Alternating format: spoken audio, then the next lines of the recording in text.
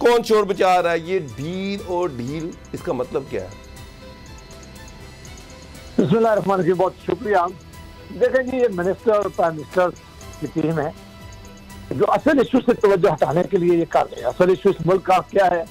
महँगाई है, बेरोजगारी है, जो स्टेट बैंक का लॉ इन्होंने गलत पास किया है, जो कीमतें रोज पेट्रोलियम की बढ़ रही हैं, जो दवाइयों की बढ़ रही हैं, जो चीनी और आटे के मसले हैं उससे असल इशू से तवज्जो हटाने के लिए वो या उनका कोई एक वज़ीर या प्राइम मिनिस्टर साहब ऐसी बातें करते हैं। इनके पास क्या पोजिशन है कि इनसे कुछ चीज़ मांगे?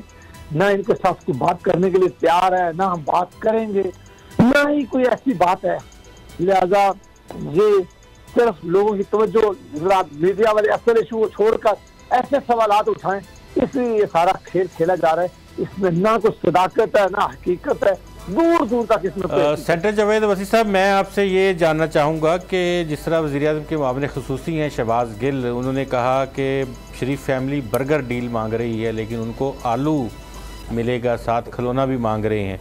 ये क्या है क्या बात है किस तरफ़ इशारा किया जा रहा है मैं अपनी बड़ी बेजती समझाऊँगी अगर मैं उस लेवल पर जाके उसका जवाब दूँ तो इस काबिल नहीं है कि मैं उसके किसी सवाल का जवाब दूँ। अच्छा जावेद बासी साहब वज़ीर इतलात फवाद चौधरी ने यह दावा किया है कि नून लीग की पहली सब के चार लोग इनके जो टॉप लीडरशिप है उनके चार लोग जो है वो किसी से मिलने गए तो कहा कि नवाजी ने मुल्क के साथ ज्यादती की। आप हमारी तरफ़ क्यों नहीं देखते? ये क्या मामला है? क्या पार्टी में कायद का पता साफ़ करने के लिए रास्ता तैयार किया जा रहा है? नहीं फवाद चौधरी साहब को कहेंगे आप ज़िले इतलात दें तो भर के तर्जमान है आप ज़रूरत करें उन चार के नाम बताएँगे वो कौन है। तो किससे वो मिले? अगर ये सच्ची बात है तो मेहरबानी करके हम डिमांड करते हैं उन चार आदमियों के भी नाम बताएँ और ये भी बताएँ कि वो किससे मिले हैं, ताकि फिर क्लियर पता चल सके। ये सारी झूठी खबरें जो मैंने पहले कही गई इनमें कोई सदाकत नहीं है, कोई हकीकत नहीं है तवज्जो हटाने के लिए। जो असल रियल इशू है इस मुल्क के, उससे तवज्जो हटाने के लिए। लोग इनसे पूछते हैं कि महँगाई क्यों नहीं खत्म कर रहे हो? बेरोजगारी बढ़ रही है। आपने अपने वादे क्यों नहीं पूरे किए? आपने जो कौन से वादे किए थे? कि पचास लाख घर बनाएँगे, एक करोड़ नौकरियाँ देंगे। वज़ीर अजम हाउस में यूनिवर्सिटी बनाएँगे गवर्नर हाउस की दीवारें गिराएँगे इकानमी ठीक करेंगे।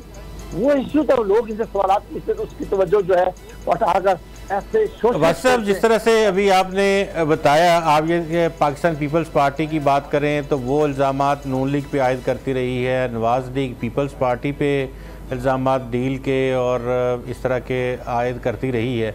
अभी केपी में मौलाना फजल रहमान की जमात जो है, पहले मरले में इलेक्शन जीती तो उन्होंने भी आवाज़ देकर कहा कि हमें भी आजमा लिया जाए। तो ये कौन है जो डील के तलबगार हैं? किन से कहा जाता है कि हमें भी आजमा लिया जाए, हमें भी मौका मौका दिया जाए? कोई हकीकत इन बातों में नहीं है। न इन बातों में कोई सदाकत है। झूठ में मबनी सारे शोशे उनके ऊपर मैं इतना ही कह सकता हूँ जी जावेद अब्बासी साहब मौलाना और आसिफ जरदारी में टेलीफोनिक रबता हुआ है और उसमें ये बात की गई कि जनाब हम मिलके चलें।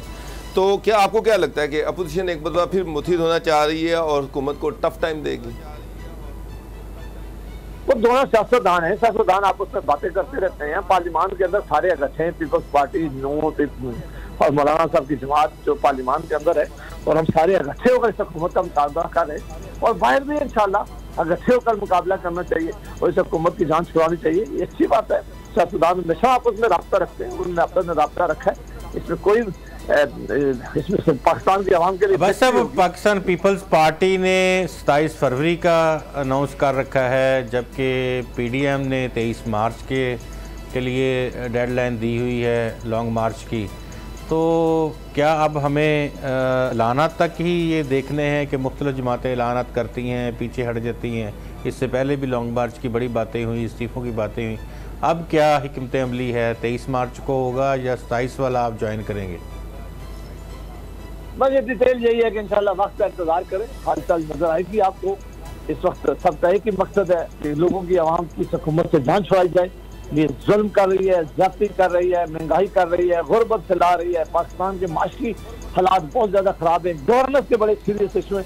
लिहाजा सारी सियासी जमातें जो हैं, इस हुकूमत के खिलाफ सब रहा है और कोशिश कर रही है कि इंशाल्लाह आवाम की बहुत शुक्रिया सेनेटर जुवेद अब्बासी साहब। गुलाब सर जी कल बड़ा धुआंधार किस्म के दावे किए गए। मेरा मतलब है कि फैसलाबाद में शबाज गिल साहब जो हैं, वो कह रहे हैं कि जनाब ये डील करना चाह रहे हैं, लेकिन इनको डील की बजाय आलू मिलेगा। फवाद चौधरी साहब लाहौर में ये कह रहे हैं कि जनाब इनकी चार, इनके चार अहम लोग जो हैं, वो किसी से मुलाकात करने गए और उन्होंने कहा, जी नवाज़ ने मुल्क के साथ बहुत बुरा किया है, लिहाजा आप हमारी तरफ़ क्यों नहीं देखते? यानी कि नवाज़ के खिलाफ उनके बकौल एक बगावत तो हो चुकी है और चा, ये चाह जा रहा है कि नवाज़ शरीफ की रिप्लेसमेंट पार्टी में कोई और आ जाए। तीसरी तरह शेख रशीद साहब जो हैं वो एक और बात कर रहे हैं। वो कह रहे हैं ढील का ढील का तो टाइम चला गया अब ढील भी नहीं होनी। ढील भी अब ख़त्म हो जाएगी। तो ये जो कल एकदम चढ़ाई की गई पीटीआई की तरफ़ से, इसको आप किस तरह से देखते हैं? वाकई कोई डील की बातें हो रही हैं? क्या ऐसी कोई चीज़ चल रही चल रही है जो गवर्नमेंट का इतना सख्त रिएक्शन आया?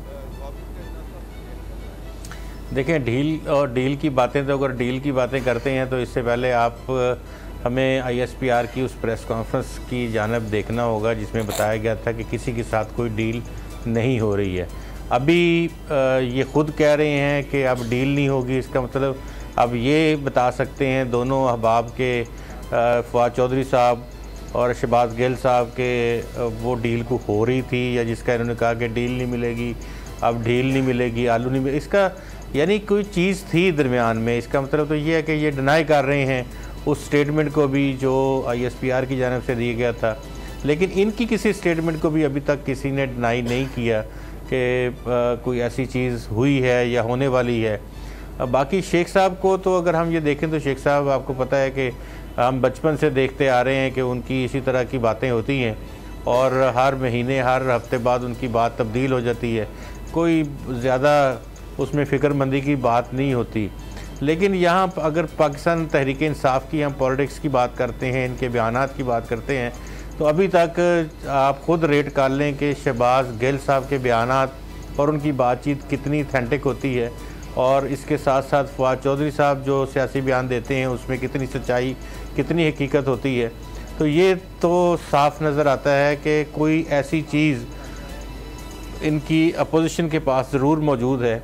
जिस तरह से एस एन इकबाल साहब ने कुछ दिन पहले एक प्रेस कॉन्फ्रेंस करके कहा था कि छब्बीस, सताईस लोग उनके साथ रबते में हैं। इसी तरह उनके दिगर रहनुमाओं ने भी बताया कि कौन कौन से लोग रबते में हैं जो सिर्फ़ टिकट की आ, के लिए कह रहे हैं कि हमें टिकट की आप पेशकश कर दें टिकट लाजमी दे दें तो हम आपके साथ जो हैं वो रबता इनसे कर रहे हैं। अब दोनों सियासी जमातें दावे वादे और इल्ज़ाम लगा लेकिन गुलाम मुजा साहब एक मिनट एक मिनट गुलाम मुजा साहब जो आपने बात की ना वो बड़ी अहम है।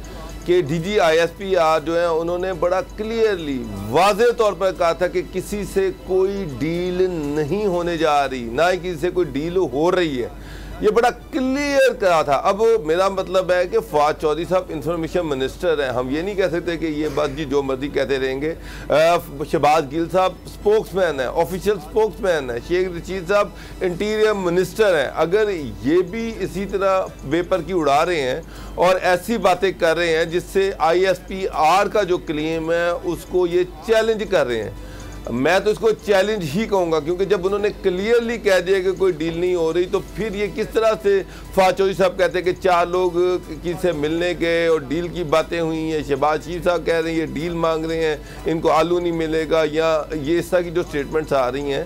तो आपका क्या ख्याल है? क्या अब इसकी वेरी इसकी कोई आनी चाहिए कंट्राडिक्शन इस पर कोई बयान आना चाहिए कि ये हुकूमती मिनिस्टर जब इस तरह की बातें कर रहे हैं तो इसको कौन कंट्राडिक्ट करेगा? क्या आईएसपीआर करेगा? कौन करेगा? देखें जिस तरह से इससे पहले आपको पता है कि बताया गया था कि कोई डील नहीं हो रही है और इस तरह की तमाम ये स्पेकुलेटिव हैं इन स्पेकुलेशंस को खबरें ना बनाया जाए। लेकिन तो सर खबरें खबरें हम नहीं बना रहे। तो खबरें हम नहीं बना रहे अब तो ये मिनिस्टर खबरें बना रहे हैं। तो अब उनकी तरफ़ से ये चीज़ें आ रही हैं मीडिया खबरें नहीं बना रहा। अभी तो बिल्कुल डॉक्टर साहब अब तो हम देख रहे हैं कि अब ये शुरू हो गए हैं ख़ुद मसलन वज़ी तलात नशरियात मावन खसूस तलात नशरियात इंटीरियर मिनिस्टर वो अब बता रहे हैं कि डील थी डील नहीं थी मुलाकात हो रही थी ये हुआ था वो हुआ था। सब्सक्राइब करें और बेल दबाएँ ताकि कोई खबर रह न जाए।